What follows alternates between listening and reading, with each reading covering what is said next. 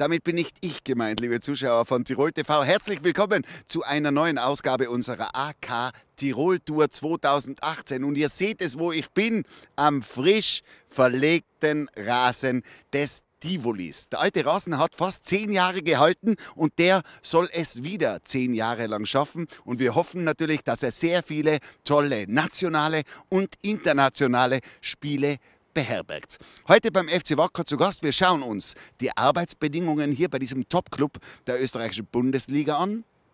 Außerdem treffen wir den Präsidenten Gerhard Stocker, den Präsidenten der Arbeiterkammer Erwin Zangerl und natürlich die Mitarbeiter des FC Wacker Innsbruck, die im Hintergrund an tollen Programmen stricken. Wir hören heute ganz exklusiv über ein ganz tolles Zukunftsprogramm, das weit über Innsbruck hinaus wirken soll und wir werden wahrscheinlich auch ein bisschen kicken. Hoffentlich muss ich nicht ins Tor. Schön, dass ihr dabei seid und ich treffe jetzt gleich il presidente Gerhard Stocker.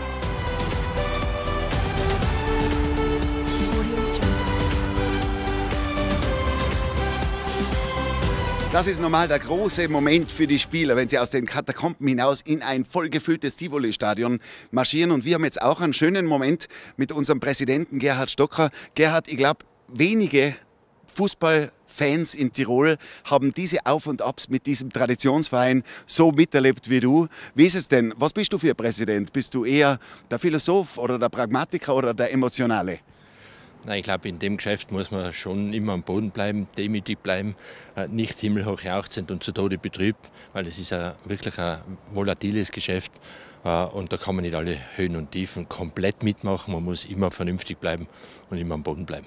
Was wäre denn, ich meine, ich habe ein Bild von dir im Kopf, wo du sehr emotional warst. Was wäre dein jetzt im Nachhinein bisher emotionalster Moment mit dem FC Wacker? Ja, der emotionalste Moment ist schon eine Zeit zurück. Das war einfach der Durchmarsch von der Regionalliga in die Bundesliga. Weil damals hat es geheißen, nach dem Megacrash vom FC Tirol, äh, das dauert mindestens fünf, sieben Jahre.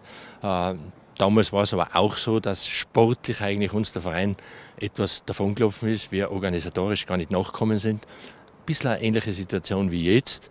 Äh, jetzt ist ja so, dass der Verein eigentlich sportlich explodiert ist in der letzten äh, Meisterschaft, weil fünf Aufstiege, das gibt es sicher nicht alle Tage. Und äh, die Bundesliga jetzt als Herausforderung äh, in diesem Jahr, ich glaube, die Ziele von euch sind klar gesteckt. Man will auf jeden Fall in der Bundesliga bleiben oder geht es sogar noch von der Zielsetzung her einen Sprung nach oben? Ja, mit den Zielsetzungen, da möchte ich auch ähm, einhaken. Äh, meine Lebensformel ist, Ergebnis ist Qualität mal Akzeptanz. Wir müssen uns sozusagen extrem um Qualität kümmern. Und wenn die groß akzeptiert ist, auch beim Publikum, dann wird es ein hohes Ergebnis geben. Und beim sportlichen Zielen ist es einfach so, man muss sich jedes Spiel bemühen und dann wird auch das Ergebnis dann in der Tabelle äh, zum Schluss ein entsprechendes sein. Für uns ist momentan einfach wichtig, ich sage immer, äh, wichtig wäre ein einstelliger Tabellenplatz bei der Zwölferliga, dann haben wir mit dem Abstieg nichts zu tun. Und wenn es ganz gut läuft und wenn die Mannschaft sozusagen einen Lauf hat und es passieren würde, dass wir unter die ersten sechs kommen, also in die obere Gruppe, dann wäre das schön, aber ist nicht sozusagen jetzt das Ziel.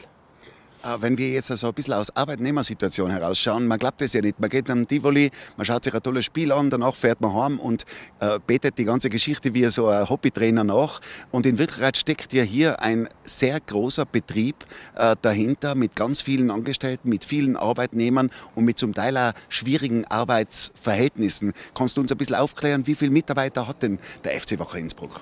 Ja, vielleicht eine Zahl, äh, da sind alle überrascht. Monatlich müssen ob Aufwandsentschädigung oder Gehalt. Also auch die, die Spieltagshelfer äh, bekommen Aufwandsentschädigung, zum Beispiel Kassendamen oder dann das Trainings, äh, Trainergehalt äh, oder Spielergehälter. Es müssen monatlich 170 Personen abgerechnet werden. Also das ist schon kein Kleinbetrieb mehr. Und äh, von, den, von den Spielern her, wie stelle ich mir das vor? Sind das wie freie Mitarbeiter oder haben die echt aufrechte Arbeitsverträge mit euch, äh, die auch ganz normal dem Arbeitnehmerschutz unterliegen? Ja, es gibt ja auch einen Kollektivvertrag. Also äh, das sind ganz normale äh, Dienstnehmerverhältnisse, äh, wie bei anderen Firmen auch. Wenn ich mal jetzt ein bisschen in die Zukunft schaue, man hört, ihr habt äh, tolle Konzepte, die jetzt nicht mehr in Schubladen liegen, sondern die bald schon umgesetzt werden. Ich habe da, glaube ich, auch mit jungen Mitarbeitern vom FC Wacker dann noch äh, die Möglichkeit zu sprechen. Kannst du uns ein bisschen verraten, was die Gesamtvision hinter dieser Entwicklung Zukunftsprogramm FC Wacker Innsbruck ist? Also meine persönliche Vision ist, dass wirklich anerkannt wird, da geht es nicht um einen Verein, sondern um ein echtes Sportunternehmen. Und das gehört dann auch strukturell so geführt, wie ein Unternehmen geführt werden muss, sprich mit Aufsichtsrat, mit äh, bezahlten Geschäftsführern, weil äh, Ehrenamtlichkeit in diesem Bereich sozusagen einfach in dem Maße nicht mehr Platz hat. Und ähm, wenn wir so ein bisschen auf die äh, Zukunftsplanung bezüglich des Nachwuchses und bezüglich der Trainingsmöglichkeiten gehen, äh, was versteckt sich hinter diesem äh, Zukunftsprogramm? Ja, das ist ganz einfach. Äh, ganz nüchtern betrachtet, in Tirol sind wir das letzte Bundesland, wo der Spitzenclub kein Trainingszentrum hat. Äh, und da sind halt äh, Versäumnisse der Vergangenheit aufzuholen. Und da mein Credo, wenn da alle zusammenhelfen, können wir wirklich innerhalb kürzester Zeit äh, Dinge wettmachen, die man in den letzten Jahren verschlafen hat. Letztes Stichwort, Zusammenhalten. Ich glaube, da geht es jetzt auch um die Aktivitäten im Marketing und vor allem in der Aktivität äh, des Sponsorings, wo sie ja immer noch, glaube ich, ähm, an zum Teil ein bisschen verqueren Zugang von den sogenannten Sponsoren oder den möglichen Sponsoren geht. Da geht es hier nicht um eine Subventionierung, sondern du siehst das, glaube ich, ein bisschen anders. Ja, ist klar.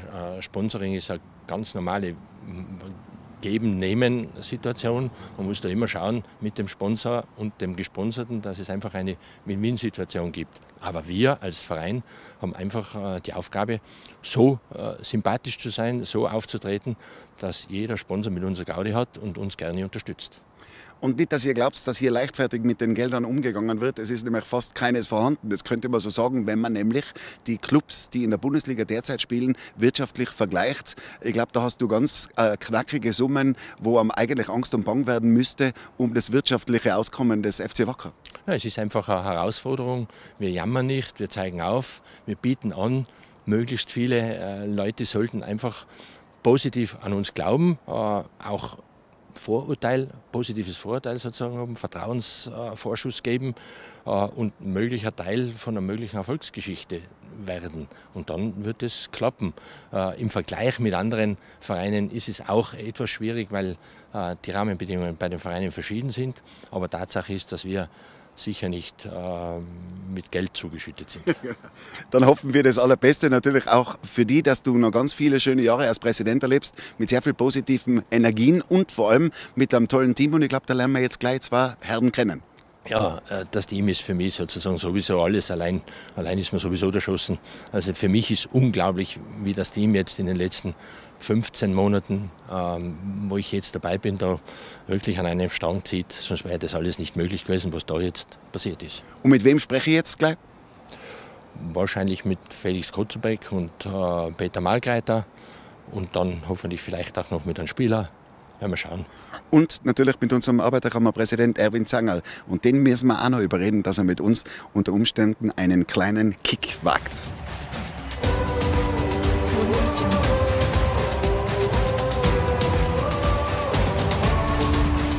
Da sitzen wir jetzt auf der Südwesttribüne. Für alle Wacker-Fans, das ist da, wo eigentlich selten jemand sitzt, weil da kann man ganz in Ruhe das Spiel genießen. Mit zwei der jungen Riege aus dem Management, mit dem Clubmanager, mit dem Peter Markreiter und mit dem für die Kommunikation zuständigen Felix Kotzubeck. Felix, wir haben heute vom Präsident äh, schon ein bisschen was gehört über Zukunftsplanung, über die Erfolge, auch in der vergangenen Saison. Es gibt da ein Stichwort Zukunftsprogramm FC Wacker Innsbruck. Du bist einer der Ideenträger. Erzähl uns ein bisschen, worum geht es da? Äh, bevor wir darüber reden, worum es geht, müssen wir kurz darüber reden, warum es das Ganze gibt und gründen das Ganze darin, dass die letzten vier Jahre in der zweiten Liga nicht so leicht waren. Und ziemlich viele Menschen haben dann den Rücken zugewandt zum Verein und wir haben gesagt, da müssen wir was tun, weil wir können entweder die Flinte ins Korn werfen, uns lassen oder wir machen was. Und dann haben wir gesagt, dafür brauchen wir irgendwo ein emotionales Motto. Das war dieses endlich wieder wacker, endlich wieder wacker sein im Sinne von frech sein, mutig sein, darf sein, aber auch wieder wacker sein, wie wir es früher schon mal waren. Nämlich ein geachteter, erfolgreicher, toller Verein, der die Leute anzieht. Und das war der emotionale Switch. Und dann gesagt, das ganze emotional reicht nicht, wir brauchen eine inhaltliche Unterfütterung und das ist das Zukunftsprogramm. Und in dem Zukunftsprogramm, glaube ich, geht es im Grunde genommen um einiges mehr als dass das Wackerstadion wieder schwarz-grün wird. Genau, das Zukunftsprogramm ist unterteilt in vier Teile. Da gibt es äh, Ziele im Sport, also was wollen wir erreichen und was brauchen wir dafür. Es gibt Ziele in der Organisation, das ist der ganze Verein als Struktur. Äh, da gibt es Ziele in den Finanzen, finanziell, das ist einmal die Basis für das ja. Ganze. Und es gibt Ziele in der Infrastruktur. Und gerade in der Infrastruktur, da haben wir viele Ziele, weil da haben wir viel Aufholbedarf. Und da glaube ich, gibt es jetzt gerade konkret einige Pläne. Wir sind gerade mitten in den Entscheidungsphasen. Das heißt, man kann, Peter, nicht zu sehr ins Detail gehen. Aber worum geht es im Groben, auch was die Infrastruktur anbelangt? Obwohl es ein bisschen kann man schon ins Detail gehen. Ähm, der Felix hat es eh schon angesprochen. Es geht darum, dass das Tivoli-Stadion für die Besucher wieder zu einer richtigen Heimstätte wird damit wir da wirklich wieder eine Fußballarena haben. Das heißt, es geht weit darüber hinaus, dass das Ganze nur äh, schwarz-grüner wird, sondern es geht darum, äh, Aufenthaltsbereiche zu schaffen, zum Beispiel für die Fans, für die Besucher, dass es wieder ein Spieltagscafé gibt. Natürlich auch die Geschäftsstelle ist relativ schmal zurzeit. Da werden wir auch schauen, dass wir das Ganze wieder erweitern. Äh, und so gibt es ganz viele Projekte rund ums Tivoli-Stadion, wo ich aber schon erwähnen möchte, dass uns die Olympiawelt da sehr tatkräftig unterstützt, ähm, dass wir da wieder Fußballfeste in Zukunft feiern können, die ein bisschen übers reine Spiel hinausgehen. Und es geht natürlich auch um ein Spreading sozusagen des Vereins, der, das er ganz Tirol erreicht. Und da geht es, glaube ich, auch um äh, Trainingszentren und Ideen, äh, sich vielleicht wackermäßig ein bisschen tirolweit zu etablieren. Das stimmt. Im Grunde genommen ist es so, dass jeder Profifußballverein ähm, ein Trainingszentrum braucht.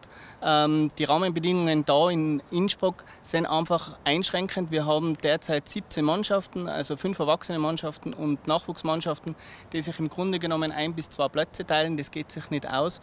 Äh, die anderen Bundesligamannschaften leben uns das vor, wie ein modernes Trainingszentrum ausschaut. Äh, ein ganz gutes Beispiel haben wir nicht weit von da in Bozen, also 100 Kilometer weiter südlich im Grunde genommen. Und sowas schwebt uns vor. Wir sind da mit einigen Gemeinden in Kontakt, ganz konkret kann man schon sagen, sind wir am weitesten mit Mirming. Das sind ganz hervorragende Voraussetzungen, um sowas ähm, im Oberland zu realisieren in meiner Heimatgemeinde Ivernarisch. Äh, meine Herren, das könnte bedeuten, die Legende lebt auch für die nächsten Jahre und das ist, glaube ich, für euch eine Riesenmotivation, um das anzupacken. Genau daran arbeiten wir, genau. Fußballerlebnisse für die Tiroler zu schaffen. Das ist unser Auftrag und wenn die Legende lebt, dann hoffentlich möglichst lang und hoffentlich zufrieden. Dann würde ich sagen, werden wir diesen kleinen geheimen Hit der hier am Tivoli entstanden ist, jetzt gemeinsam genießen. Die Legende lebt. Und passend dazu treffe ich mich danach mit zwei Präsidenten im Legendenstüberl, zwei Stockwerke weiter oben. Die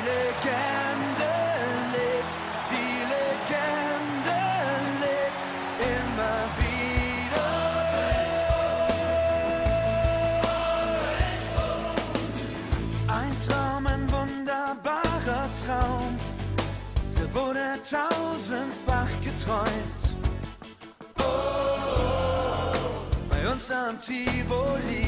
Ein Meer, ein wunderbares Meer. Aus tausenden Menschen, die dort stehen. Oh, oh, bei uns am Tivoli. Dort hat man so oft nur gefangen, nur gehofft. immer wieder hat die Sonne gescheint.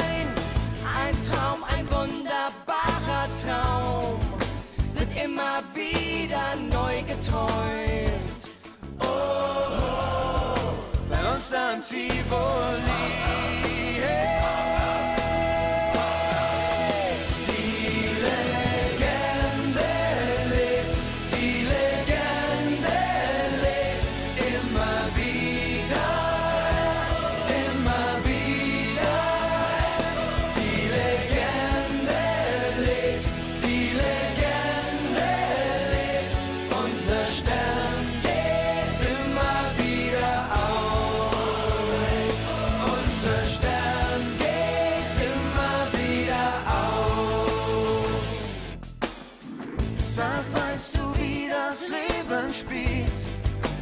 Doch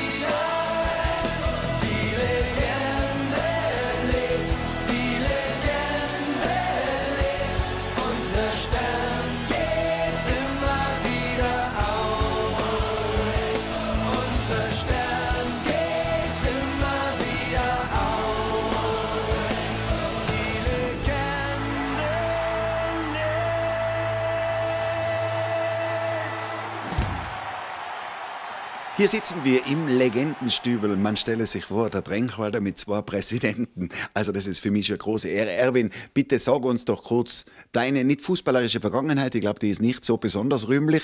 Aber bist du ein FC Wacker Innsbruck-Fan?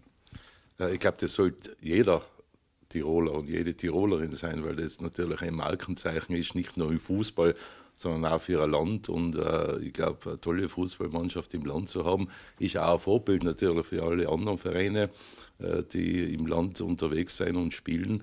Äh, es hat ja nicht nur jetzt fußballerische Auswirkungen, sondern natürlich für ihr Land auch wirtschaftliche Auswirkungen. Äh, eine tolle Geschichte, toller Fußball und ich glaube, wir sind am guten Weg, dass wir tolle Siege vor uns haben. So hoffe ich zumindest.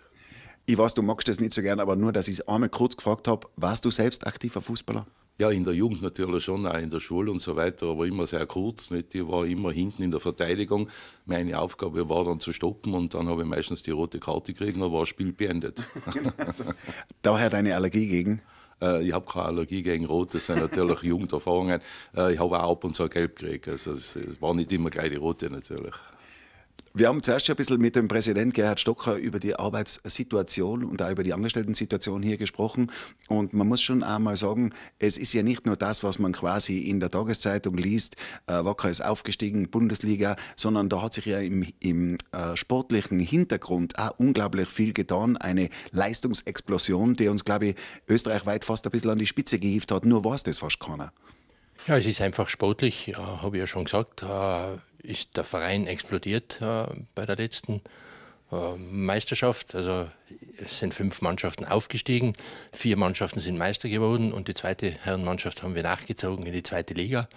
Äh, jetzt spielen Damen 1 und Damen 2, Herren 1 und Herren 2 immer in den obersten Ligen österreichweit und das ist natürlich für, den, äh, für die Hintergrundarbeit eine riesen Challenge, eine riesen Herausforderung. Erwin, ähm, ich glaube, gerade hier beim FC Wacker spürt man das ganz brutal, dass äh, das professionelle Arbeitsverhältnis extrem aufgeladen ist mit Emotionen. Und ich glaube, das äh, birgt unglaublich viele Möglichkeiten, aber eben auch einige Risiken. Wie siehst du das? Ja, aber da, ich glaube, da geht es jetzt nicht um Selbstausbeutung in dem Sinn, was man ja oft hört und auch äh, kennt, sondern, sondern das ist ja positiver Stress natürlich. Einen positiven Stress heben die Menschen äh, gut aus, weil es ja motiviert. Ja. Und ein Verein kann an und für sich nur äh, im Zusammenwirken von, von Angestellten, aber auch von Freiwilligen natürlich funktionieren. Das wissen wir alle. Vor allem dann natürlich, äh, die Menschen wollen ja am, am Wochenende ein Fußballspiel sehen, klarerweise. Und du brauchst halt viele Freiwillige, brauchst viele Angestellte, brauchst äh, tolle Motivation. Äh, und ich glaube, wenn, wenn dann das Ergebnis auch beim Fußball passt, dann sind alle glücklich und zufrieden. Und eines ist natürlich klar, bei einem Verein wie dem FC Wacker Innsbruck ist nicht nur die Vorbildfunktion in irgendeiner Form für die Jugend da, sondern der Nachwuchs ist hier ein ganz großes Thema. Der Nachwuchs, der sich körperlich betätigt, also quasi sportlich betätigt und trotzdem äh, Lehre und Studium und Ausbildung nicht vernachlässigt wird. Ich glaube, das ist auch ein ganz ein wichtiger Aspekt. Ja, ist klar. Ja, einmal die Vorbildfunktion natürlich für, für Junge, die sagen, er ist ein toller Sport, da will ich mich engagieren, da will ich auch Chancen haben, äh, da will ich auch eine Richtung sehen, wo kann ich mich hin entwickeln. Auf der anderen Seite natürlich nicht zu vergessen, dass äh, natürlich das berufliche Umfeld auch gegeben sein muss, weil irgendwann kannst du dann immer spielen. Und das ist ganz entscheidend natürlich, dass da auch Perspektiven sein, dass man sich auch beruflich natürlich oder schulisch engagiert, sich weiterentwickelt und dann im Prinzip dann vom Fußball irgendwann natürlich in den Beruf einsteigen kann. Und äh, glaube ich, da ist dieser Club auch vorbildhaft. Äh, Gerhard, wie siehst du das? Äh, wie ist das hier aufgestellt? Beziehungsweise, was würdest du jetzt einem jungen Vater mit einem talentierten Kind, das Fußball spielen kann, raten? Wie wäre da jetzt ein vernünftiger Gang, um das äh, Talent des Kindes zu fördern? Ja, wichtig ist einmal, dass das Kind sozusagen ähm, Vorstellungen hat, was es will. Äh, Im Endeffekt muss man immer parallel schauen, Fußball alleine, da kann man verletzt werden, da kann man auch sozusagen die, in der Dropout-Rate im Alter von 16 bis 18 Jahren ist die ja sehr riesig, äh, dass man da einfach schaut, dass wirklich äh, Berufsausbildung, schulische Ausbildung parallel dazu einfach äh, gegeben ist. Und nachher geht es sowieso um lebenslanges Lernen. Wie gesagt, Fußballer kann man nicht bis zur Pension sein. Also es ist einfach extrem wichtig, dass der Mensch gesamtheitlich ausgebildet wird. Aber wenn wir vom Vorbild FC Wacker Innsbruck sprechen, ich glaube, es gibt hier schon ganz, ganz viele äh, Beispiele von Leuten, die hier quasi ihre ersten beruflichen Sporen verdient haben und heute auch noch äh, im, Geschäft sind und eine tolle Karriere hingelegt haben. Ja, es ist einfach wichtig, äh, dass sich die Leute nicht nur auf Fußball äh, konzentrieren. Man sieht es ja auch im Trainergeschäft oder so, so viel äh, Leute kann man in dem Geschäft nicht beschäftigen. Also es ist wichtig, dass viele auch in anderen Berufen dann sattelfest sind und sich dort weiterbilden beziehungsweise dann auch weiter profilieren. Und da gibt es genug Beispiele. Also ich sage sowieso, Fußballer, die sind sehr teamorientiert. Die bringen alle diese, diese Herausforderungen mit, die äh, ein Berufsleben einfach äh, haben muss. Erwin, abschließend vielleicht noch, wo siehst du den FC Wacker, sagen wir jetzt in einem halben Jahr bei Meister oder fast einem Dreivierteljahr bei Meisterschaftsschluss, wo wollen wir den FC Wacker haben? Tabellenplatz? Ja, der Wunsch ist natürlich Meister, ist keine Frage, weil sonst äh, äh, wäre die Motivation auch schon weg. Weil davor sagt man, sind an für sich mit, äh, was ich, welchem Platz zufrieden. Ich glaube, das ist auch das, was den Sport ja auszeichnet, ja, dass man, man will an die Spitze und man will dann natürlich den Erfolg haben und äh, den Meister zu schaffen, wäre ein toller Erfolg, wäre gut äh, natürlich für unser Land und vor allem als Vorbildwirkung auch klarerweise äh, für alle Jungen, was nachkommen. Gut, also ich würde mich ganz gern zwischen euch zwei ansiedeln und bin für einen gesunden Klassenerhalt, vielleicht Top 6 war natürlich ein Wahnsinn. Und da halten wir alle die Daumen. Und dass ihr zu Hause seht, dass es auch tolle Hobbyfußballer in diesem Land gibt, hätte ich jetzt die zwei Präsidenten nur auf einen kurzen Krieg eingeladen. Ich bin gespannt, ob wir ein Tor finden, das unseren Schüssen standhaltet. Und ich würde sagen, ab auf den grünen Rasen. Vielen Dank fürs Gespräch, meine Herren.